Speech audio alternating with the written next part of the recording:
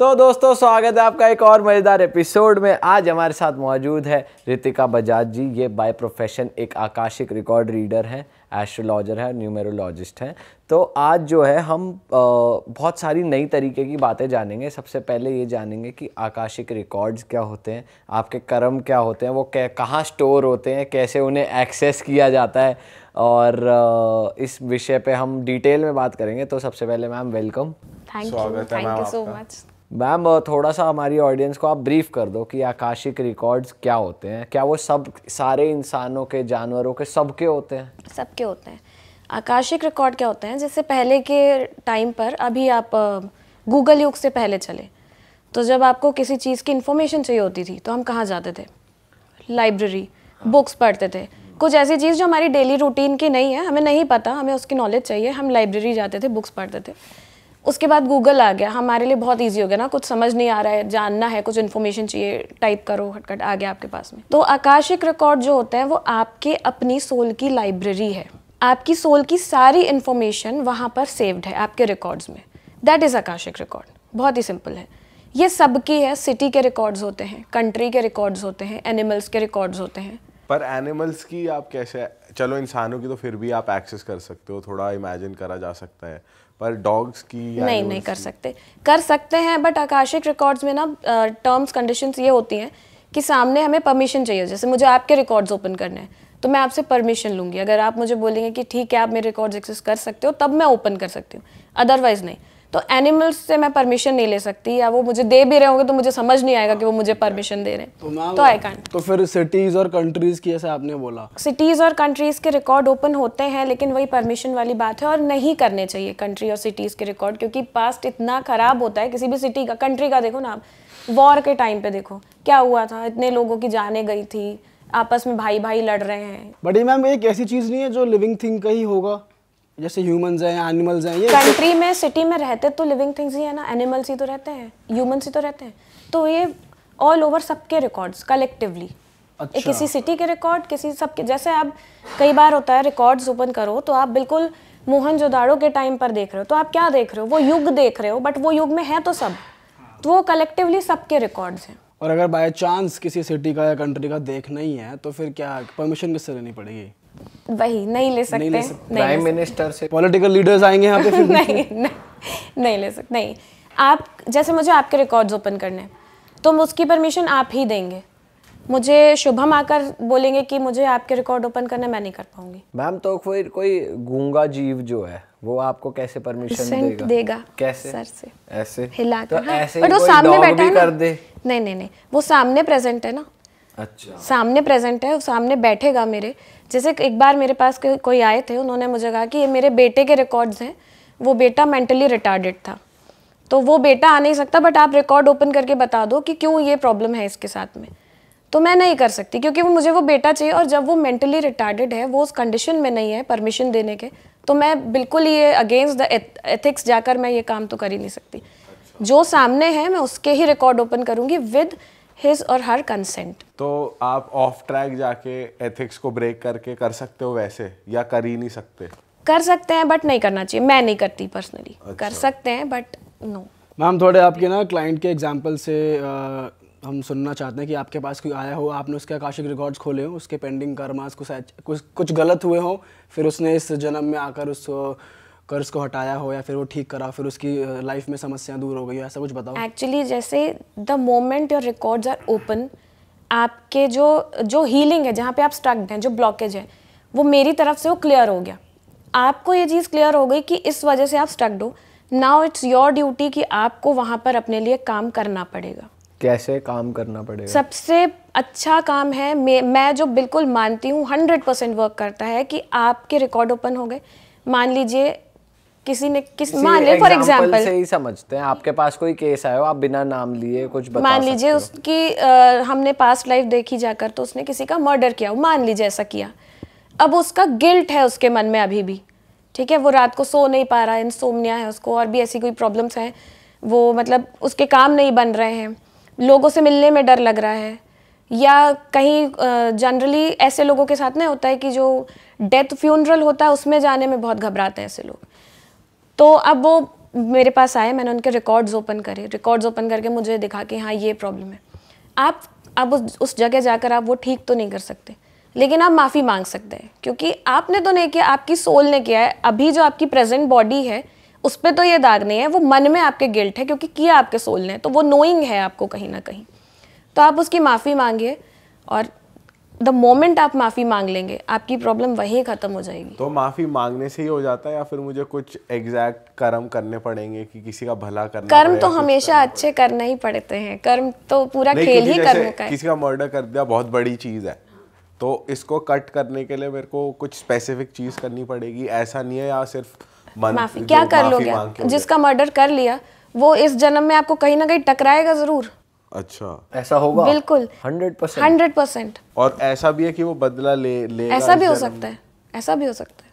अगर उसने बदला ले लिया और हमें मार दिया बाय चांस उसने अपने ऊपर एक गलत कदम चढ़ा लिया अब वो फिर अगले जन्म में फिर ही तो साइकिल चलती है ये साइकिल चलती रहती है। चलती ही रहती है। तब तक जब तक आप उस एंड पे नहीं आ जाते कि अब आपको मोह माया से फ़र्क ही नहीं पड़ता है।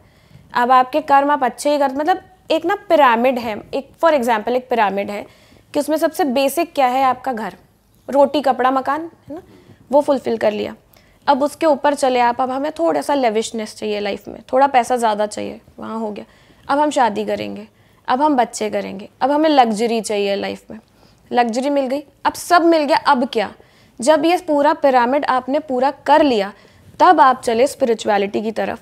और जिस दिन आप स्पिरिचुअलिटी की तरफ़ चले, जिस जन्म में, वो जन्म आप सोचेगा कि this is your last birth. इसके बाद आपको मोक्ष मिल जाएगा। अच्छा। और स्पिरिचुअलिटी की भी कुछ लेवल है होगा कि यार इस लेवल की स्पिरिचुअलिटी अचीव कर ली या फिर तुम इतने स्पिरिचुअल इनफ हो कि अब तुम नहीं पैदा होगे बट ऐसा कहते हैं ना स्पिरिचुअलिटी वाइज भी आप जितने ग्रो होते जाते हो नेक्स्ट जन्म में और ग्रो होते जाते हो। हाँ ग्रो नेक्स्ट जन्म में आप एक लेवल ऊपर चले गए ना अब आप इस योनि से तो आप बाहर हो गए। अब आपका जहाँ भी जन्म होगा अब ये सारे जो कर्माज आप जो बैगेज लेकर चलते आ रहे थे उससे तो आप फ्री हो गए। अब अगला जन्म अच्छा ही होने वाला है।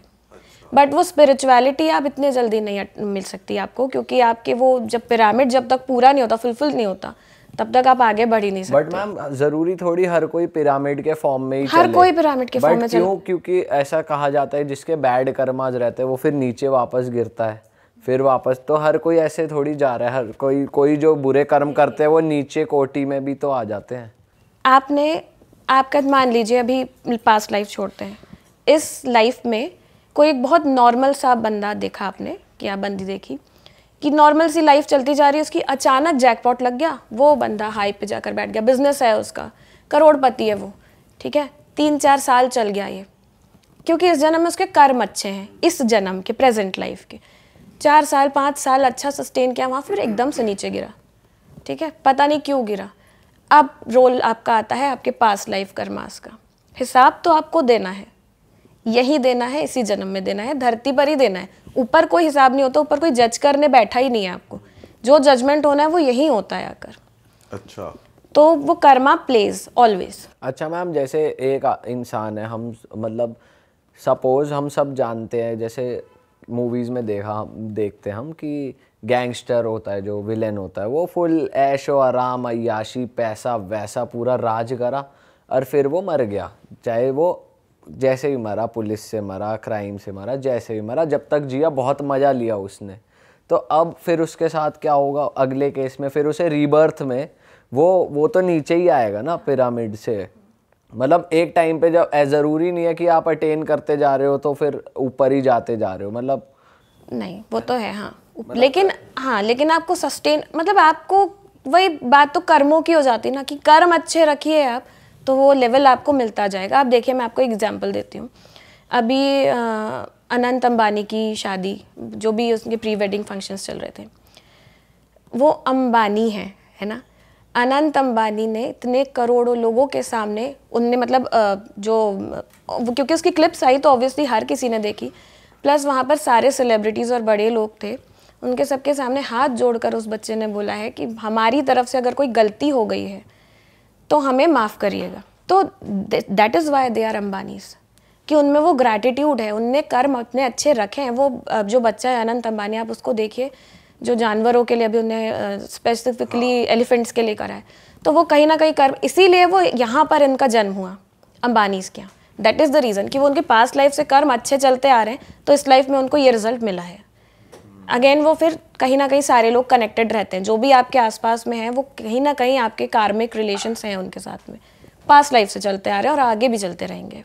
मैम थोड़ा आप अपने बारे में बताओ कि आप कैसे जाते हो स्टेट में? कि आप कि, कि, जैसे मैं आपसे पूछने आया तो कितना टाइम लगता है आपको रिकॉर्ड खोलने में? कैसे करते हो आप? थोड़ा बताओ। रिकॉर्ड खोलने में टाइम नहीं लगता है। प्रेयर्स होती हैं। मैं प्रेयर रीड करूँगी तो वो क्या वैदिक मंत्र होते हैं हमारे जो सनातन नहीं वो वैदिक मंत्र नहीं होते। जो रिकॉर्ड्स की प्रेयर है वो हमारे इंडियन प्रेयर नहीं है। वो तो प्रेयर कॉन्सेप्ट ही इंडियन नहीं है आकाशिक रिकॉर्ड कॉन्सेप्ट इंडियन है। हम मानते नहीं है ना। हम वी आर इंडियंस हम वेस्टर्न कल्चर मानते हैं। अच्छा। तो ये कॉन्सेप्ट इंडियन ही है। देखिए मैंने जैसे अब बिल्कुल पुराने युग में ऋषि मुनि जो हैं वो आपको बैठे रहते थे आप जाओ उनके पास में आँख बंद करके बैठे हैं वो उन्हें नहीं पता आप कौन हो क्या हो वो आप पे हाथ रख देंगे जा बच्चा ये तेरी परेशानी है। आज से ख़त्म। तो वो क्या कर रहे हैं? वो आपके रिकॉर्ड ओपन कर रहे हैं ना? कैसे कर रहे हैं? तब वो मेडिटेशन डीप मेडिटेशन करते थे। वो वाइब्रेशन वहाँ की यूनिवर्स की वाइब्रेशन की तरफ़ ले जाते थे अपनी।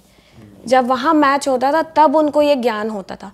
अब ये इजी हो गया अब जो प्रेयर्स हैं उनके वर्ड्स ऐसे सेट किए गए हैं कि वो यूनिवर्सल जो वाइब्रेशंस हैं वो अट्रैक्ट करे अपने तो ये प्रेयर सारी इंग्लिश में ये प्रेयर्स इंग्लिश में है। अच्छा। तो वो प्रेयर्स करके फिर आप मतलब विजुअलाइज करते हो कि आप एक बुक खोल रहे हो या क्या आपके सामने क्या आता है? नहीं सबके साथ अलग अलग होता है। हर प्रैक्टिशनर का अलग अलग होगा। जैसे किसी को नोइंग आएगी।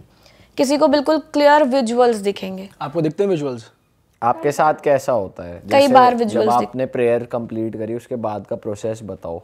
प्रेयर कंप्लीट करने के बाद कई बार विजुअल्स दिखते हैं। कई बार नोइंग आती है। कई बार मुझे लगता है कोई मुझे क्या होता है? नहीं मतलब मुझे समझ आ रहा है कि मुझे आंसर देना है। मेरे सबकॉन्शियस माइंड पर कोई बता रहा है हिट कर रहा है बार बार कि this is the answer you have to give this answer to but आपको पूरी उनकी लाइफ नहीं दिखती कि ये पूरी life जो प्रॉब्लम है उससे रिलेटेड सॉल्यूशन उतना उतना पार्ट दिख जाएगा आपको। नहीं records are very clear and crystal इस मामले में। जो आप सुनना चाहते हो वो वही आपको बताएँगे। अच्छा। कई बार ऐसा भी होता है कि आप कोई प्रॉब्लम लेकर आए हो और उसके आपको आंसर नहीं मिल रहे हैं। क्योंकि आप उस आंसर को सुनने के लिए प्रिपेयर ही नहीं हो मेंटली तो रिकॉर्ड्स आपको नहीं देंगे। रिकॉर्ड्स क्या है? रिकॉर्ड्स कौन लेके बैठा है? आपके मास्टर्स लॉर्ड्स ले, लेके ही तो बैठे हैं ईश्वर ही तो लेकर बैठे हैं। जो देवदूत हम बोलते हैं वही लेकर बैठे हैं ना। तो वो आपको हर्ट नहीं करेंगे वो देवदूत हैं। वो आप उतना ही बताएँगे जितना आप सुन सकते हो उस टाइम पर। अच्छा सपोज़ अगर मैं आया मैं कहता हूँ आपको मैम मेरे हेल्थ इश्यूज़ बहुत है प्लीज़ आप देख के बताओ। तो क्या ऐसा हो सकता है कि मेरे को आंसर ही ना मिले उस चीज़ का जैसे आप कह रहे अगर आप तैयार नहीं हो आंसर सुनने के लिए तो रिकॉर्ड्स आपको आंसर नहीं देंगे। अच्छा। अगर आप तैयार हो तो आपको आंसर देंगे। और ये कैसे पता चलेगा तैयार है इंसान या नहीं? रिकॉर्ड्स बताएँगे ना। तो आपने आपको आप बोल देते हो कि आप रेडी नहीं हो इसके आंसर के। तो लोग आपको डाउट नहीं करते कि मैम आप तो स्कैम कर रहे हो मैं तो जानने आया नहीं था। देखिए ऐसा होता बहुत कम है रेयरली होता है लेकिन होता है। बट मेरा काम है मैं अपनी तरफ़ से अपना हंड्रेड परसेंट दूँगी।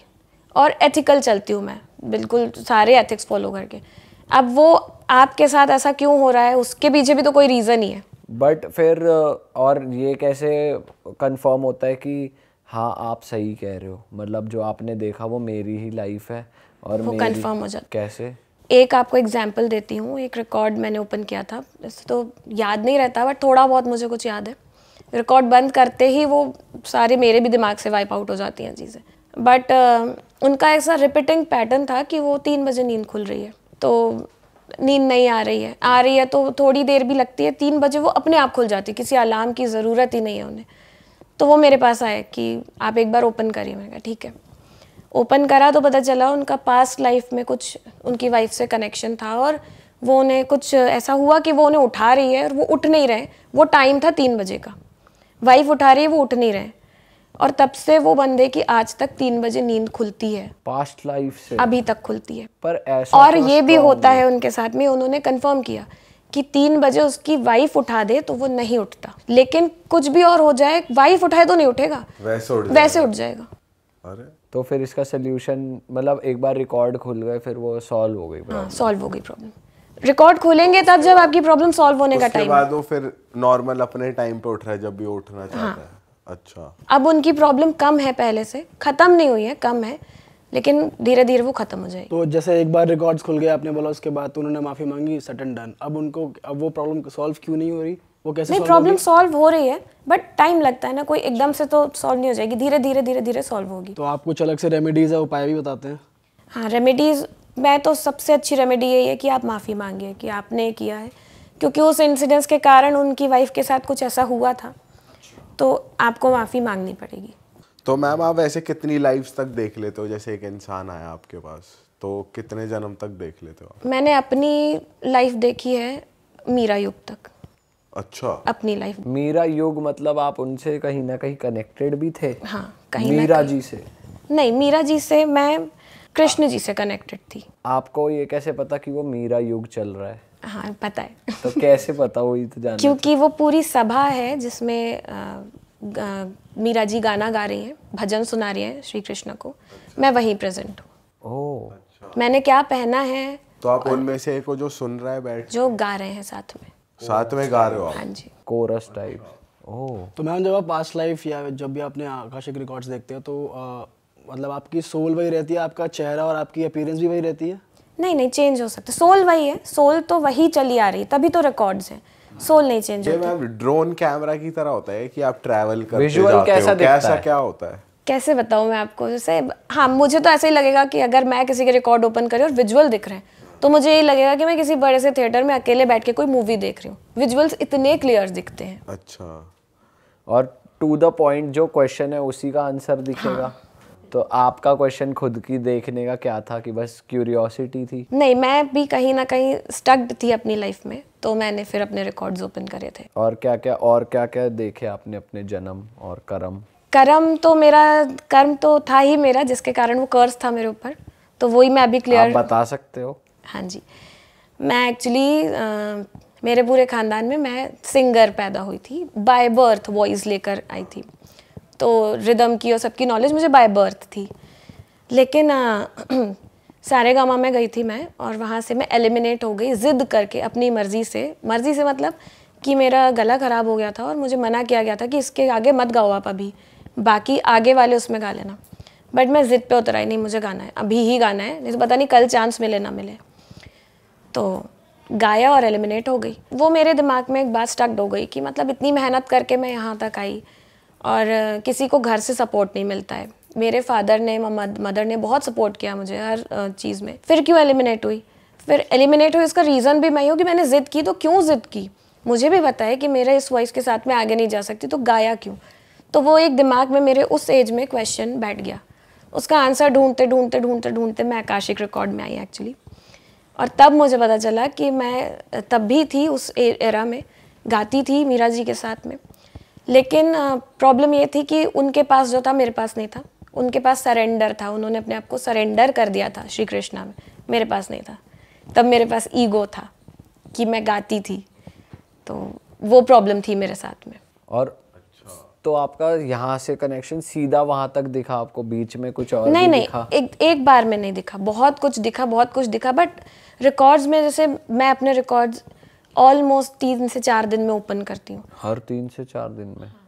हर तो तीन वो से हर तीन से चार दिन में कुछ नया ही दिखता है नहीं नहीं ज़रूरी नहीं है ज़रूरी नहीं है। नहीं भी दिखता है।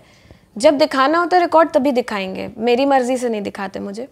बट मेरा ये क्वेश्चन उनसे बार बार था कि ये ऐसा क्यों ऐसा क्यों? इसका आंसर इसका आंसर तो ये आंसर एक दिन निकल के आया। ये बहुत ही रिसेंट आंसर मुझे मिला है। तो मैम, जैसे क्लाइंट आपके पास आते हैं, उनकी लाइफ में कुछ ब्लॉकेजेस हैं दिक्कतें चल रही हैं, अब आपने उनके आकाशिक रिकॉर्ड खोले तो जो बुरे कर्म उन्होंने करे होते हैं आपको सिर्फ़ वही दिखते हैं जैसे फॉर एग्जांपल किसी ने जैसे आपने बोला मैंने मल्टीपल लाइफ्स देखी अपनी किसी ने एक लाइफ में गलत काम नहीं करा हुआ इतना मेजर की तो फिर आपको मल्टीपल लाइफ्स एक बार में दिख जाती हैं उस क्लाइंट हाँ दिख सकती है दिख सकती है। अच्छा। कई बार अच्छे भी कर्म होते हैं कई बार रिकॉर्ड्स में कुछ बुरा नहीं होता कई बार रिकॉर्ड्स में बहुत अच्छा होता है। इतना अच्छा होता है कि आपको देख के ना मतलब प्यार आ रहा है उस बंदे पे कि मतलब क्या प्यारा सा है ये क्यों अपने रिकॉर्ड ओपन कर रहा है पता नहीं। बट वो क्यूरियोसिटी होती है किसी की। बट कई बार बहुत अच्छे कर्म भी हैं लोगों के जो रिकॉर्ड्स दिखाते हैं। क्या देखा आपने अच्छे से अच्छा कर बहुत वो तो मैं मतलब किसी के हाँ शेयर नहीं कर सकती थोड़े पर्सनल हो जाते हैं। बट वही जो हम जो हम कर्मों की बात करते हैं ना इस जन्म में कि हमें कर्म अच्छे रखने हैं तो वो जिसके रिकॉर्ड देखे थे वो लेडी थी। तो वो उसके कर्म ऑलरेडी वैसे कई जन्मों से वैसे ही कर्म करते आ रहे और उसको कोई प्रॉब्लम नहीं है लाइफ में। उसको ये आकाशिक रिकॉर्ड क्या है बस ये जानना था कि क्या होता है। तो मैं उसके रिकॉर्ड्स ओपन करके मैं रो रही थी मैं उठ के उसको गले लगाया। मैंने कहा तुम क्या हो? मतलब तुम्हें तुमसे सीखना चाहिए वाली बात है कि कुछ गलत नहीं है सब अच्छा है बहुत प्यारा है। अच्छा मैम ऐसे भी आते हैं लोग कि अपने पार्टनर के लिए ये मेरी पिछली जन्म से मेरे साथ तो नहीं है जैसे ऐसा होता है ऐसा कुछ भी आता है ऐसे लोग आते हैं कि लेकिन हम वो वही जिसका रिकॉर्ड है हम उसका ही ओपन कर सकते हैं जो हमें कंसेंट देगा। अगर मुझे कोई बोलेगा कि आप मेरी वाइफ का रिकॉर्ड ओपन कर दो ये रही उनकी फ़ोटो तो मैं नहीं नहीं जैसे आपने उसी का ही खोला तो आपको पता लग जाता है कि जो इसका करंट हस्बैंड है वो पास लाइफ वाला है। हाँ जी। अच्छा ज़रूरी नहीं है कि वो हस्बैंड वाइफ पास्ट लाइफ में भी हस्बैंड वाइफ होंगे। वो भाई बहन भी हो सकते हैं। अच्छा। वो किसी और की वाइफ और किसी और का हस्बैंड भी हो सकते हैं लेकिन वो आपस में कहीं कोई कनेक्शन होगा। अच्छा। मतलब जानते हैं एक दूसरे को तभी इस जन्म में साथ है। तो अक्सर ऐसा होता है कि आपके पास क्लाइंट आते हैं अगर किसी का बाय चांस पार्टनर्स में डाइवोर्स होने वाला है कुछ होने वाला है तो फिर आपके पास आ रहे हैं सॉर्ट आउट करवाने के लिए यार पिछले जन्म में कुछ गलत तो नहीं कर दिया था। हाँ हाँ। तो उस केस में सॉर्ट आउट हो जाते हैं सीन? मतलब आप करा देते हो? हाँ डाइवोर्स केस तो मैंने अभी तक तो नहीं लिया है बट ऐसे लोग होते हैं ऐसा केसेस होते हैं। अभी तक मैंने डाइवोर्स वाला अच्छा एक और बात बताओ फोर्सफुल कंसेंट भी वर्क करता है? जैसे मान के चलो कि मैंने इसके उसे कनपट्टी पे बंदूक रख के कहा चल बता कंसेंट दे। ऐसा मतलब ये बहुत हाइपोथेटिकल सिचुएशन है बट मैं पूछना ये चाह रहा था कि जैसे कि अ, आपको आपके हस्बैंड के खोलने पर वो कंसेंट नहीं दे रहे आप गुस्सा हो गए तो नहीं देखो जब हस्बैंड वाइफ की बात होती है तो और ऑप्शन नहीं है ना वाइफ हस्बैंड को देना ही होता है कंसेंट वही मैं कह रहा हूँ कि फोर्स नहीं ये तो ऑप्शन ही नहीं होता। और अगर प्रैक्टिशनर हस्बैंड है तो वाइफ के ऊपर चलेगी कि देना कि हाँ, नहीं दे तब वो वाइफ पे चलेगी हमें नहीं देना हमारा नहीं आपने सर के भी चेक हाँ करे थे। जी बिल्कुल करें। जब रिश्ता विश्ता है तब उससे पहले करे थे या नहीं, नहीं, पहले मतलब बाद में? मतलब आप तो डिसीज़न ले सकते थे ना कि बंदा कैसा रहा है क्या ट- वो है। हाँ ये मुझे पता था कि कैसा रहा है और मुझे पता था मेरी शादी इनसे होनी है। अच्छा। आपका भी पास्ट लाइफ कनेक्शन है। क्या देखा आपने? मैं अ, मेरे हस्बैंड को जानती हूँ जब मैं टेंथ क्लास में थी। अच्छा। तो वो मेरे सीनियर थे और अ, तब हमारी फ्रेंडशिप थी नॉर्मल फ्रेंडशिप थी। फिर हमारी कई साल बात नहीं हुई। लेकिन मुझे पता था मेरी शादी इस आदमी से होनी है। उस टाइम पे मालूम उस था। कैसे? उस टाइम से कर रहे हो उस टाइम तो आप प्रैक्टिस भी नहीं करते थे। प्रैक्टिस नहीं करती थी लेकिन मुझे पता था कि होनी है। आप पसंद ये करते नोइंग थी। मेरी। आप पसंद करते थे। हाँ दोनों तरफ़ से था वो वो भी पसंद करते थे मैं भी करती थी बट हमने ये एक्सेप्ट नहीं किया था। ना एक दूसरे के सामने ना किसी और के सामने। ठीक है। हम वो थे भी नहीं मैं जबलपुर शहर की हूँ और वो दिल्ली में थे। ठीक है। तो जानते थे मतलब एक थोड़ा टाइम साथ में रहे फिर वो दिल्ली शिफ्ट हो गए और उसके बाद हमारी बात भी नहीं हुई कई तेरह साल आप मान अच्छा। तेरह पंद्रह साल। पर मन में पता था आपको कि उस बंदे दिल्ली में बैठे हुए बंदे से मेरी शादी होगी। फिर आप दोबारा कनेक्ट कैसे हुए? दोबारा कनेक्ट भी वो फेसबुक के थ्रू अच्छा। अच्छा। ये सोशल मीडिया ने बहुत लोगों सोशल मीडिया बट जब मैंने बनाए। रिकॉर्ड्स ओपन करे तब सीखा जब मैंने मेरी शादी के कुछ साल पहले। उसके बाद में मैंने ये चेक भी कर लिया था कि ये मेरी जो नोइंग है ये ठीक है कि नहीं। तो मेरी नोइंग बिल्कुल ठीक थी। तो मेरी शादी उन्हीं से होनी। तो आप पास्ट लाइफ में क्या थे आपस में अगर आप बता सकते हो? क्योंकि आपने ही कहा ना ज़रूरी नहीं हस्बैंड वाइफ ही हो हाँ। मैं नहीं वो मेरे ब्रदर इन लॉ थे पास्ट लाइफ में। अच्छा अरे। बताओ इतने इतने डीप तक जा सकते हैं यार क्या? हाँ जी जा सकते मैम इस जन्म के भी कर्मा देख सकते हो आप जैसे कोई इस जन्म के कर्म तो आप कर ही रहे हो। नहीं तो वो रजिस्टर्ड तो होते ही जा रहे हैं ना आकाश जैसे कुछ भूल गए हैं भूल जाते हैं भाई याद नहीं हमने कुछ गलत किया इस जन्म में भी तो वो वो नहीं खुल सकता। अच्छा एक बात बताइए आप सबके दिमाग में कभी ना कभी कोई एक किसी चीज़ को देखकर आता होगा कि यार ये ऐसा पहले तो कभी हुआ है। देजा वू टाइप्स हाँ कभी कुछ देखा है इससे रिलेटेड है। ना? तो वो क्यों आती है ये नोइंग आपकी आपके पास लाइफ के कारण?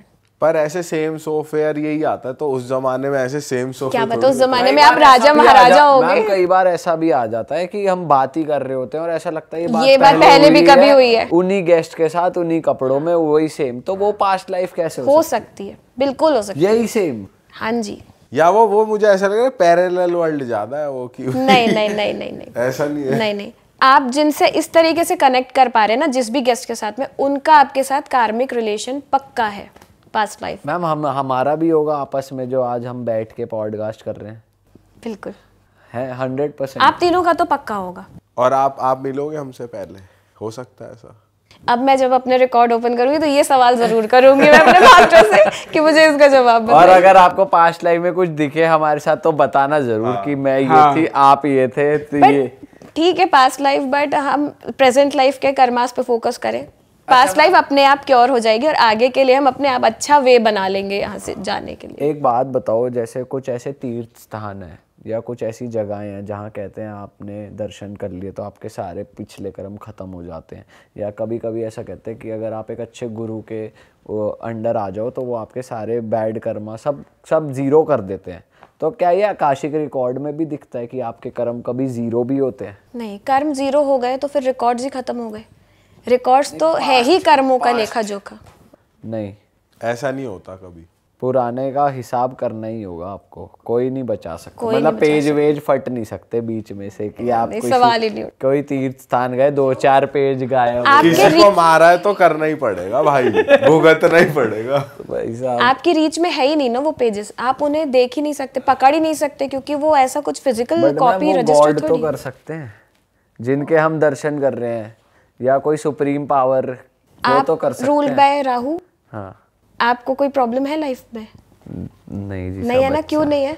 इसके पेंडिंग पहले के कर्म बढ़िया होंगे इसका मतलब? मैम ऐसा नहीं है प्रॉब्लम नहीं है पर वो उस पर ज़्यादा ध्यान नहीं देते। अब ऐसे देखा जाए तो तो सबकी लाइफ में कुछ थोड़ी बहुत प्रॉब्लम तो सबकी लाइफ हाँ, में होती है। लेकिन आपके में वो जब जब हम ध्यान तभी देते हैं जब वो थोड़ी बहुत से थोड़ी ज़्यादा हो जाती। उतनी ज़्यादा नहीं होगी। क्योंकि अभी मुझे आपने बताया था कि आप मंदिर मतलब आप मानते हैं ईश्वर हाँ। में मानते हैं। तो आप अपने कर्मा ठीक करते आ रहे हैं ना रेमेडी आप करते आ रहे हैं। तो राहु के इफेक्ट्स नहीं होंगे आप। तो ये भी अपने आप में रेमेडी है मंदिर जाना और पास्ट लाइफ का हटता रहेगा कुछ धीरे मन, मंदिर जाना रेमेडी नहीं है। मंदिर जाके अपने कर्म ठीक रखना रेमेडी है। मंदिर आप चले जाओ देखो कर्म होते हैं और कर्म के इंटेंशंस होते हैं। तो ये दोनों चीज़ें अलग अलग होती हैं। मंदिर जाना आपका कर्म है। लेकिन आप मंदिर जाकर बोल रहे भगवान मेरा तो ठीक है जो रहा है। इस बाजू वाले को फेल करा देना इस बार एग्ज़ाम में। आपके कर आपके इंटेंशंस खराब हो गए वहाँ पे। तो वो गड़बड़ है ना फिर तो वो आप वो अच्छा खासा लिख रहे हो आप अपने रिकॉर्ड्स में फिर। और अगर कोई जाके मंदिर भी जा रहा है और वो जा वहाँ तो इंटेंशन बढ़िया है उसके प्योर है दिल से मान रहा है भगवान को। बाहर आके वो गलत काम कर रहा है वो फिर भी गलत फिर भी गलत। फिर भी गलत चल रहा है हिसाब अच्छा मैम एक चीज़ और बताओ कि बहुत सारे लोग हैं जो स्मोक करते हैं ड्रिंक करते हैं ठीक है? अपने अपने साथ कर रहे हैं। उनके दूसरों के लिए इंटेंशन बुरा नहीं, वो दूसरों के साथ बुरा नहीं कर रहे। बट सपोज़ कई तीर्थ पे गए या कोई ऐसी जगह गए या किसी पूजा से निकले और उन्होंने एक सिगरेट लाइट कर ली या एक ड्रिंक ले ली, जिस दिन सुबह पूजा करी, शाम को दारू पी ली पार्टी कर ली। पर अपने साथ करा, किसी के साथ कुछ बुरा नहीं करा, अपने शरीर के साथ करा, उसे अवेयर है वो कि ठीक है। तो वो क्या बैड कर्मा में आती है चीज़ कि? वो क्या वो आप स्पिरिचुअली वो चीज़ खराब कर रहे हो कि वो मतलब वो चीज़ खराब हो रही है जो आपने पुण्य कमाया जो भी अच्छा करा वो आपने बेकार कर दिया ऐसा होता है? तो आपने क्या वहाँ पर जाके प्रॉमिस किया भगवान के सामने कि आज से मैं छोड़ दूँगा? और आप प्रॉमिस करके ये प्रॉमिस नहीं करा हम नहीं करा है ना? अब आप मुझे बताइए कि इतने करोड़ लोग हैं ये सिर्फ़ हम इंडिया की बात करें पॉपुलेशन तो हमें इंडिया की पता है। इस पूरे अर्थ पे कितने लोग हैं यूनिवर्स में भी और लोग हैं जिनके बारे में हमें पता नहीं है जो बॉडीज़ हैं जो एनर्जीज़ हैं है ना? आप ऊपर जाओगे तो कि भगवान आपसे पूछेंगे अच्छा तुमने दारू पी थी इसलिए तुम ऊपर आए हो? नहीं। आप जब तक किसी और के साथ बुरा नहीं कर रहे हो आपके इंटेंशन किसी और के लिए ख़राब नहीं है आपके कर्मा खराब नहीं है। अब आप अपनी हेल्थ खराब कर रहे हो। सिगरेट और दारू आपकी अपनी हेल्थ खराब कर रही है तो आपको अपने लिए वो ठीक करना है। मतलब वो हमारे बैड कर्मा में नहीं आएगा कि हमें उसका हिसाब चुकाना पड़ेगा या कुछ भी नहीं ऐसा नहीं। नहीं। अपने साथ बुरा कर रहे हो वो आप आप अपने साथ बुरा कर रहे हो वो आपके बैड हेल्थ में आएगा वो आपके बैड कर्मा में नहीं उसके आएगा। रेपरकर्शन भी फिर अपने को ही झेलने अपने को ही पड़ेंगे झेलने किसी और तरीके से पर वो ठीक है ओके अगर आप अपने में पार्टी कर रहे हो पर अगर आप बहक के किसी और का नुकसान कर रहे तो हो तो फिर वो ठीक है जब तक अपने तक है तो ठीक तब तक। मैम आपने ना कुछ अभी क्लाइंट के एग्जांपल से बढ़िया से नहीं बताया। आपके पास कैसे किस टाइप के क्लाइंट्स आते हैं? कार्मिक मतलब ये आकाशिक रिकॉर्डिंग के रिकॉर्ड से बिना जानने के लिए बिना कुछ कुछ रिवील करे हाँ कुछ ऐसा बताओ। कोई ऐसा केस नाम बताओ बहुत ही। हाँ नाम मत बताओ। कोई ऐसा केस जो बहुत ही मेजर रहा हो और आपने वो डील करा उससे कुछ बताओ। मेजर एक केस बताती हूँ मैं। मुझे याद इसलिए क्योंकि उसका इफ़ेक्ट मेरे ऊपर आया था। ओ तो बाकी तो मुझे याद नहीं है बहुत सारे बट एक केस था कि किसी का पास लाइफ ओपन करी थी और उसको आग से डर लगता था। जो आई थी उनको आग से डर लगता है। या उन्होंने अपने सपने में भी ऐसा कुछ देखा है कि आग से रिलेटेड कुछ देखा? जब मैंने ओपन किया तो वो फायर मैंने अपने ऊपर इतनी फील की कि आप यकीन नहीं मानोगे मेरा फेस जब पूरा पूरा रेड हो चुका था मुझे लग रहा था मैं जल रही हूँ। उस उस मोमेंट मतलब मेरी आँखें बंद थी और जो सामने क्लाइंट थी उन्होंने मुझे उठाया कि आपको क्या हुआ? पहले आप ठीक हो। फिर मैंने उठा रिकॉर्ड्स पहले क्लोज किए और मैं थोड़ा ठंडे पानी से नहा नहा के लिटरली मैं literally जल रही थी। लिटरली जल रही थी। बस वो आग फिजिकली दिख नहीं रही है बट मैं फील कर पा रही थी इतनी ज़्यादा फायर थी इतनी ज़्यादा हीट थी उसमें। अच्छा। तो फिर वो रिजॉल्व कैसे हुआ? जब आपने सेकंड टाइम खोला तो ठीक था? हाँ। तो क्या पता चला क्यों? क्यों डरती थी वो आग से? वो उनका कुछ पास्ट लाइफ जला दिया था? नहीं नहीं उन्होंने नहीं उनके साथ कुछ हुआ था। अच्छा। तो मैम जब आपने सेकंड टाइम ओपन करा तब आपको कुछ आप पे नहीं आया तब? नहीं तब आया मुझ पे लेकिन तब फिर मैंने अपने सारे जो प्रोटेक्शंस लेने थे वो पहले मैंने लिया नहीं क्योंकि वो मेरी फ्रेंड थी। तो जनरली हम जब लेते हैं तो हम अपने आप को ग्राउंड करके और प्रोटेक्शन के साथ में रिकॉर्ड ओपन करते हैं क्योंकि कुछ भी आ सकता है यहाँ पे ना। जैसे कई बार क्या होता है कि आपके जो मेरा रूम है जब रिकॉर्ड ओपन कर रही हूँ मैं तो कोई आ रहा है तो उसके वो एनर्जी तो मुझे फील हो रही है। उसके साथ में कोई और एनर्जी है तो वो भी मुझे फील हो रही है। तो मुझे अपने आप को सेव करने के लिए वो प्रोटेक्शन लेना बहुत ज़रूरी होता है। और अब उस समय मैंने नहीं लिया था क्योंकि वो फ्रेंड ही थी मेरी। तो नहीं लिया था तो उसके इफ़ेक्ट से तो वो प्रोटेक्शन लेने के लिए भी कुछ चैंट्स होते हैं जो आपको करने पड़ते हैं या क्या क्या हाँ चैंट्स होते हैं। हाँ एक टॉर्मलिन होता है स्टोन होता है एक। तो वो जनरली हम लेके रहते हैं। उसकी भी प्रोटेक्शन की भी अपनी एक प्रेयर होती है। तो हम एक हम बोलते हैं ना जैसे देवदूत मैंने बताया था ना आपको उनको मैं हमें कॉल करना होता है कि you have to sit with us तो मैं मेरे साथ तो जनरली है ये अगर मैं इसके आकाशिक रिकॉर्ड्स ओपन कर रही हूँ या मैं कंसल्टेशन ले रही हूँ न्यूमरो या एस्ट्रो का तो मैं पहले मेडिटेशन करके श्री कृष्णा को ही बोलती हूँ कि साथ में रहना है आपको बस। तो जब वो साथ हैं तो सब ठीक है। तो कभी जो जैसे आप कृष्ण जी को बुलाते हो कभी उन्होंने आपको बोल बोला है कि तुम मत लो ये केस हाँ ऐसा भी होता है। कई बार आपको पता होता है कि आपको इनका नहीं लेना है। इनके रिकॉर्ड्स ओपन नहीं करना है। वो आपको बार बार ये मैसेज मिल रहा होता है कि don't open the records don't open the है कि आप ओपन नहीं कर पाते वो ओपन नहीं कर पाते नहीं करने ही नहीं है। तो ये हमें नहीं केसेस होते हैं जिसमें अ, कुछ नेगेटिव एनर्जी इन्वॉल्व होती है कुछ और मेजर हो सकता है मतलब क्योंकि ओपन ही। नहीं कर पाते तो मुझे ऐसे मैसेज मिले हैं दो बार तो मैंने तो ओपन नहीं करे। जब किए नहीं तो मुझे पता नहीं है। बट हो सकता है कि उसमें कुछ ऐसा होगा जो मैं ना झेल पाऊँ। ना डील कर पाऊँ। ना डील कर पाऊँ। तो इसलिए मेरे मास्टर्स मुझे बोल रहे हैं कि डोंट गो फॉर देट मत जाओ। अच्छा तो आप नहीं जाते फिर? नहीं, क्लियर नहीं नो तो ये आप केस लेने से पहले ही पूछ लेते हो? बिल्कुल। अच्छा। और हम इसमें मास्टर्स कौन होते हैं जैसे आपने मास्टर्स बोला? मास्टर्स इसमें होते हैं जिनके पास में रिकॉर्ड्स हैं जो रिकॉर्ड्स लेकर बैठे जो तो ये हर किसी के अलग अलग होते हैं? जैसे आपको एक्सेस देना तो ए, आपका एक ही मास्टर होगा फिक्स नहीं ऐसा कुछ नहीं है। सबके मास्टर एक बात बताऊँ मैं आपको हम सबके मास्टर्स हैं। अच्छा। सबके मास्टर्स हैं जो हमारे साथ में हमारे अच्छे बुरे में हमको देखते हैं रोकते हैं सब करते हैं। यूनिवर्स को हम बोलते हैं ना कि हम जो बोलेंगे वो हमको बैक देती है इसलिए ही बोलते हैं क्योंकि वो मास्टर्स हैं जो हमारा मैसेज कन्वे करते हैं और वहाँ से हमारे पास में वो चीज़ें लेकर आते हैं हमारे लिए। तो ये मास्टर्स हमारे एंसेस्टर्स हैं या फिर कोई एंसेस्टर्स भी हो और है सकते हैं बिल्कुल और एंसेस्टर्स भी हो सकते हैं। अच्छा। अच्छा। वाह मैम ये तो बहुत इंटरेस्टिंग साउंड कर रहा है। कभी कोई लोग आपके पास ऐसे भी आते कि मुझे अपने खोए हुए लोगों से बात करनी है जो आते हैं लेकिन मैं ये नहीं मैं एस्ट्रल में नहीं जाती मैं। मीडियमशिप नहीं करते मीडियमशिप नहीं करती। आप सिर्फ़ रिकॉर्ड्स देख के बता देते हो कि ये अच्छा मैम कोई क्लाइंट आपके पास आता है तो आप डिसाइड कैसे करते हो? एस्ट्रोलॉजी करनी है न्यूमेरो करनी है या वो तो आकाशिक? client decide वो डिसाइड जो क्लाइंट चाहे। क्लाइंट जो चाहे हाँ। तो एस्ट्रोलॉजिकली अगर बात करें तो आपकी एक्सपर्टीज किसमें है? जैसे कुछ होता है ना कि आप अ, कैसी रेमेडीज देते हो या फिर मैं रेमेडीज मंत्रों पे बिलीव करती हूँ कि जितने पावरफुल मंत्राज हैं उतने पावरफुल और कोई चीज़ नहीं है। अच्छा। बहुत पावरफुल है। तो आप वो नहीं देते उपाय की जैसे कि किसी को खाना खिला दो ऐसा कुछ नहीं करते आप? नहीं ये तो दान करने के लिए तो मैं करती हूँ लेकिन आप दान किसको करो? अब आप किसी अ, एक को मैंने बोला था कि आप जाकर दान करना है आपको कि स्पेसिफिकली नहीं कि इसको ही पकड़ के आप इतने ही लोगों को दान करना। एक किसी केस में मैंने बोला था वो आकाशिक का केस था वो केस अलग था।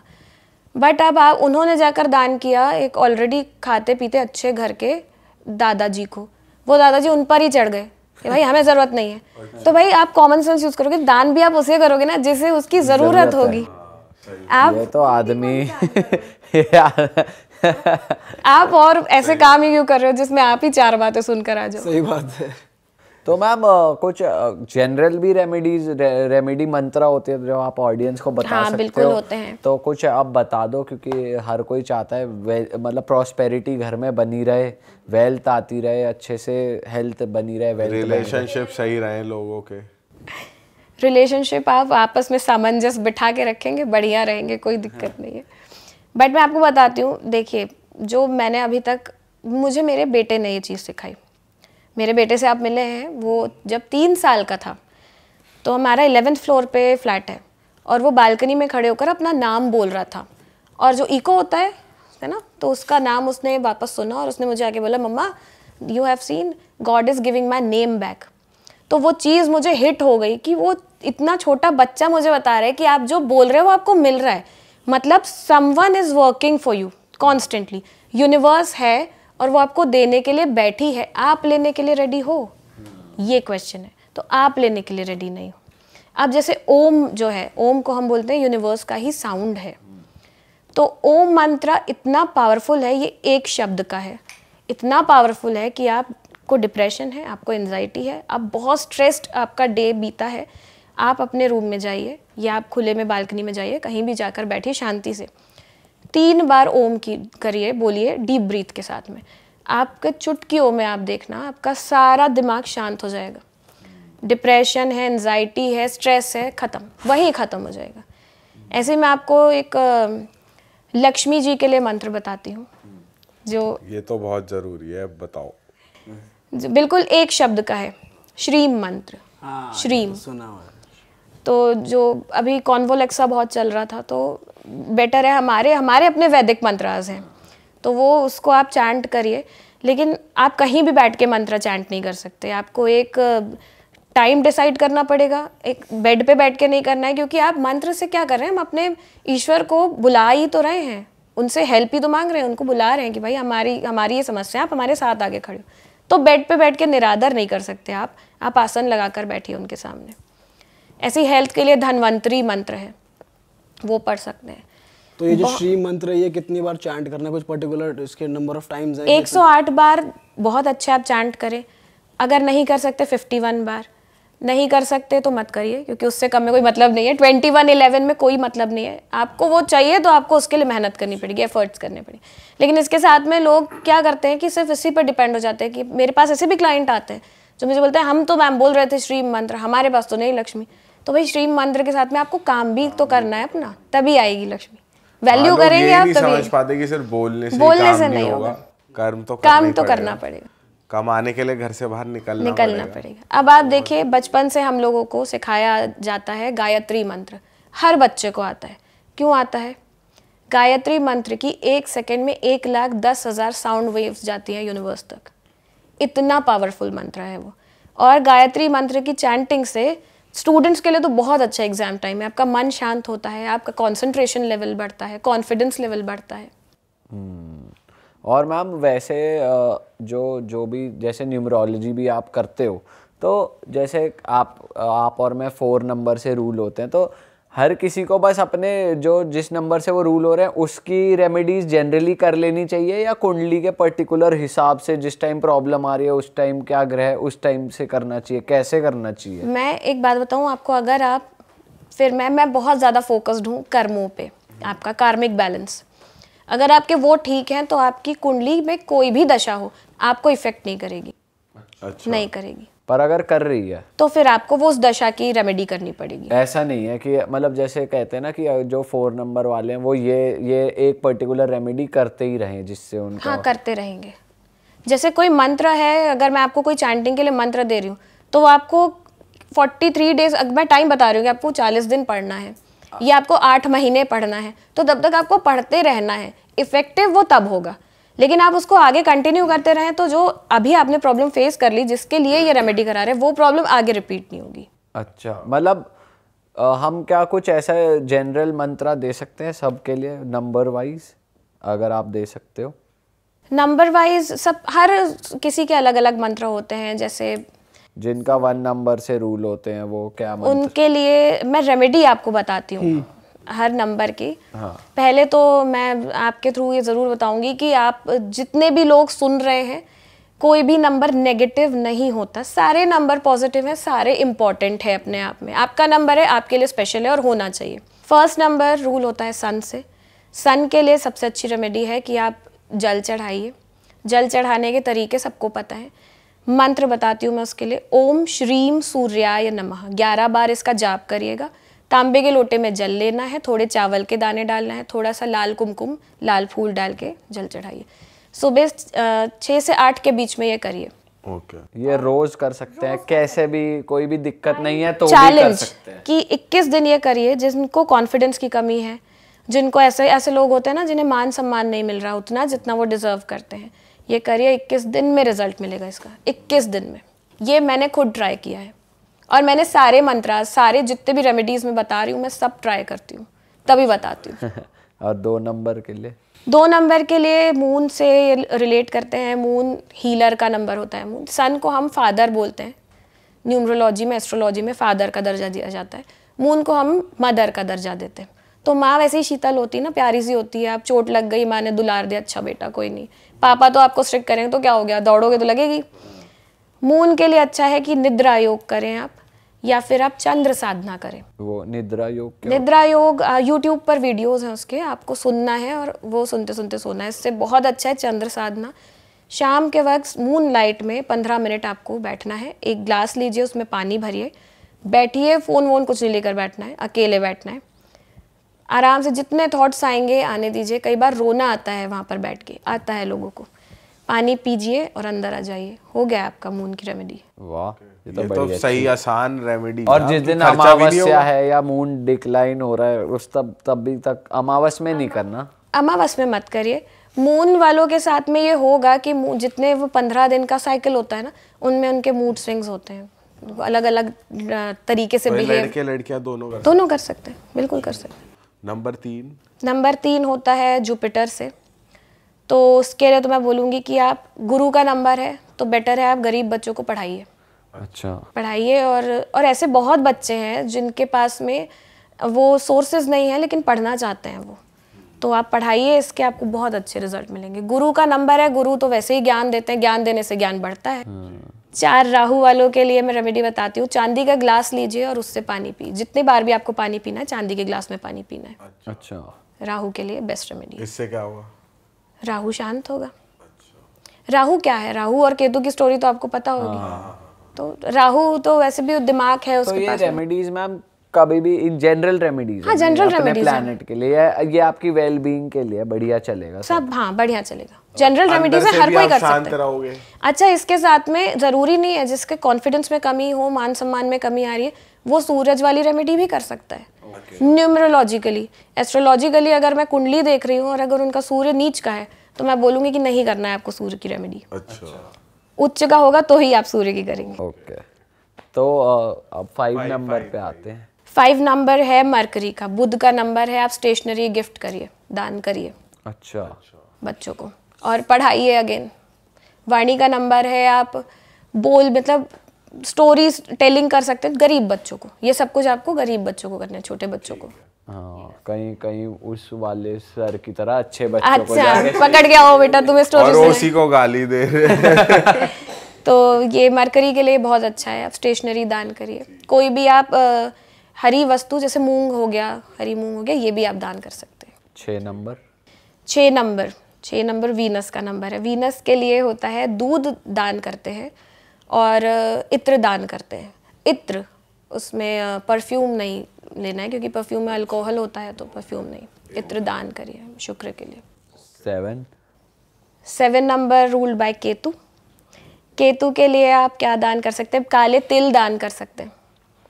बहुत अच्छा होता है काले तिल कोई काले लेता भी है? हाँ लेते हैं। अच्छा। तिल मोस्टली यूज़ लेते नहीं काली उड़द दान कर दीजिए। काली उड़द दान कर सकते अच्छा। ब्लैक कलर होता है बेसिकली ब्लैक कलर का आपको दान काले कपड़े दान कर सकते हैं। ओके आठ नंबर? आठ नंबर के लिए आप करिए छाया दान। छाया? ये कैसे होता है? किसी को शेल्टर दे? नहीं नहीं। छाया तो दान होता है। होती है। छाया छाया तो आएगी ना शेल्टर से ये कह रहा हूँ मतलब। छाया दान होता है कि पेड़ के नीचे बैठा आपको एक दिया लेना है उसमें सरसों का तेल लेना है और उसमें अपनी अपने खुद को देखना है अपना फेस देखना है और वो आपको शनिदेव पे चढ़ाना है। अब यहाँ फिर आपके कर्म आ गए। लॉजिकली आप अपने फेस को देखकर मैं ये बोलती हूँ कि देख पाना कि आप अपने फेस को फेस कर पाओगे क्या? मैं ये ज़रूर एक चीज़ लाइन बोलती हूँ अपने कंसल्टेशन में। अच्छा कि तो अब आप तब आप। शनिदेव पर दान करिए क्योंकि शनिदेव तो कर्मों के साथ बिल्कुल झोल नहीं करने देते हैं। तो अपने आप को देखना ज़रूरी है बिल्कुल। और नौ नंबर? नौ नंबर के लिए कोई भी लाल वस्तु आप दान कर सकते हैं। लाल वस्तु। नौ नंबर क्या क्या आता है? बहुत लाल कपड़े होते हैं लाल मसूर होती है। ब्लड डोनेट भी कर सकते ब्लड डोनेट कर सकते हैं बिल्कुल। गरीब बच्चों को लाल टॉयज दे सकते हैं? गरीब बच्चों को आप कुछ भी दीजिए ये सारी चीज़ें आपका बैलेंस हो जाएगा। किसी को भी आप जिस जो देने के लिए तैयार जो लेने के लिए तैयार हो मतलब ऐसे नहीं आप किसी को भी जाकर दे रहे हो नहीं। जो नीडी है उन्हें आप दान करते रहिए। कर्म आपके तभी कटते जाएँगे। क्योंकि एक कॉन्सेप्ट है कि हम इस यूनिवर्स में हम इस अर्थ में सब कुछ लेने तो नहीं आए हैं। जी। हम देने भी आए हैं। हमारा भी वो कर्म बनता है हमारा धर्म बनता है कि हम दे भी तो ले तो हमने लिया। हमने ईश्वर से मांग लिया ये भी दे दे बंगला भी दे दे पैसा भी दे दे गाड़ी भी दे दे सब ले लिया। अब करो क्या उसका? आपके नीचे भी तो कुछ लोग होंगे जिनको ज़रूरत होगी आप उनके लिए करिए। सही बात है। मैम वैसे देते हैं तो मिलता ज़्यादा है। बहुत मिलता है। ये बात। मन में श्रद्धा हो आपकी और आपके नियत में खोट ना हो। जैसे मैंने आपको मतलब ये नहीं है कि बंदे मन- बंदे का माइंड में यार है मैं दूँगा ना मुझे मिल जाए। हाँ। तो ये चीज़ तो गलत है देखो जैसे कर्मा के इंटेंशन की मैं एक स्टोरी सुनाती हूँ आप हाँ। एक राजा था उसके यहाँ पर वो बहुत बहुत दयालु राजा था बहुत अच्छे नेचर का सब कुछ। उसने अपना एक बड़ा सा उद्यान बनाया। वहाँ पे उसने सौ साधुओं को बुलाया कि अब मैं इनका भोजन कराऊँगा इसका जो उद्यान बनाया उसका उद्घाटन करना है। अब भोजन कराया, भोजन कराते पहले उन्होंने पैर वैर धोए, सबके चरण स्पर्श किया, आशीर्वाद लिया, सब किया, भोजन कराया। भोजन करते साथ ही सौ के सौ साधु उनकी डेथ हो गई। सौ के सौ साधु एक साथ चले गए। अब ऊपर गए, ऊपर खलबली मची। अब चित्रगुप्त पूछ रहे हैं कि महाराज, क्या करें इनका, किसका कर्म? तो उन्होंने चित्रगुप्त ने बोला यमराज से कि महाराज, ये तो राजा का कर्म। तो यमराज बोले कि राजा का कैसे कर्म? उसके दिल में तो कोई खोट नहीं थी। उसने तो बहुत प्यार से बुलाया, मान सम्मान दिया, खाना खिलाया। उसने तो कुछ नहीं किया। तो चित्रगुप्त बोले अच्छा तो जिसने खाना बनाया हुए उसका कर्म। तो यमराज बोले कि अच्छा उसका कैसे कर्म? वो तो खाना बनाते वक्त राम नाम का जप कर रहा था। तो उसके नियत में भी कोई खोट नहीं थी। तो बोले, फिर किसका कर्म? तो यमराज बोले कि, जब ये खाना बन रहा था, ओपन स्पेस में बन रहा था तो ऊपर एक गिद्ध और सांप जा रहे थे ऊपर से। गिद्ध सांप को पकड़ के लेके जा रहा था। उनकी लड़ाई चल रही थी। तो वो सांप का जहर गिरा खाने में। तो चित्रगुप्त बोले कि अच्छा अब मैं समझ गया, ये सांप का कर्म है। अब यमराज बोले कि कैसे हुआ सांप का कर्म? सांप तो अपनी जान बचा रहा था। उसकी जान बचाने में उसका जो गिरा, रक्त गिरा, जो उसमें से पॉइजन आया, वो उसकी तो गलती नहीं है। तो बोले अच्छा तो फिर वो गिद्ध का कर्म। तो बोले, गिद्ध तो अपने बच्चों के लिए खाना लेने, लेके जा रहा था। उसके तीन छोटे छोटे बच्चे हैं, वो वेट कर रहे थे। अब चित्रगुप्त पागल हो गए। कि तो समझ ही नहीं आ रहा है, इनका दंड किसे दे? सौ के सौ हैं यहाँ पर। उन्हें भी समझ नहीं आ रहा, सौ साधुओं कि, हमने ऐसा क्या किया? भाई, हम तो साधु हैं। हम क्यों हैं यहाँ पर? तो यमराज बोले अच्छा सब्र करो, इसका जवाब मिलेगा जल्दी। कई साल बीत गए। वो साधुओं को इंसाफ ही नहीं मिल रहा था, उन्हें समझ नहीं आ रहा था, जाना कहाँ है, किस तरफ़ उठ बैठेगा, किस करवट। अब एक दिन, कई साल बाद एक आदमी इस जंगल से जा रहा था। एक बूढ़ी औरत थी वहाँ पर जो लकड़ियाँ काट रही थी। उस आदमी ने बूढ़ी औरत से पूछा कि ये यहाँ पे एक महाराज रहते हैं, राजा रहते हैं, कहाँ रहते हैं? तुरंत वो बूढ़ी औरत ने जवाब दिया अच्छा वो राजा जिसने सौ साधुओं को मार दिया था? तुरंत यमराज ने बोला चित्रगुप्त को कि वो देखो, वो उसका कर्म, वो बूढ़ी औरत का। क्योंकि यहाँ पर किसी का भी इंटेंशन खराब नहीं था। इंटेंशन किसका खराब निकला? वो बूढ़ी औरत का। वो ये भी बोल सकती थी कि वो राजा जो बहुत दयालु था अच्छा वो राजा जो अब कई सालों से दिखता नहीं है। लेकिन आपने क्या बोला? आपने उनके कैरेक्टर पे अननोइंगली आपको पता ही नहीं है कि उनके साथ हुआ क्या कैसे हुआ। आपने दाग लगाया। तो कर्म ऐसे खराब होता है। आपके इंटेंशंस आपके कर्म है। ओ तो किसी के लिए ना जानते हुए सोच लेना भी गलत है। गलत है। तो इंटेंशन एक बॉटम वो है कि सबसे अगर ये सही रखोगे तो सब सही है। सब सही है। ये गलत हो गया यहीं से गलत जा रहे हो तुम इसका मतलब। बिल्कुल। ओह, वाह यार, ये तो बहुत अच्छी सीख थी मैम आपने। मज़ा आ गया आपसे बात करके और मैं जनता से दरख्वास्त करूँगा भाई, अगर आपको इस पॉडकास्ट में मज़ा आया तो प्लीज़ इसको शेयर कर दीजिए। कृपया इसे अपने तक ना रखें। और मैम को अगर आप रीच आउट करना चाहते हो तो मैम से जुड़ी सारी डिटेल्स डिस्क्रिप्शन में है। इनका इंस्टाग्राम का लिंक इनके यूट्यूब का लिंक आप जाकर इनको फॉलो कर सकते हैं। और बस हम मिलेंगे आपसे ऐसे ही एक मज़ेदार पॉडकास्ट में। बिल्कुल। Till then bye bye take care अपना ध्यान रखिए अच्छे नियत और अच्छे कर्म करते रहिए। बाय बाय बाय बाय जय श्री राम। जय श्री राम।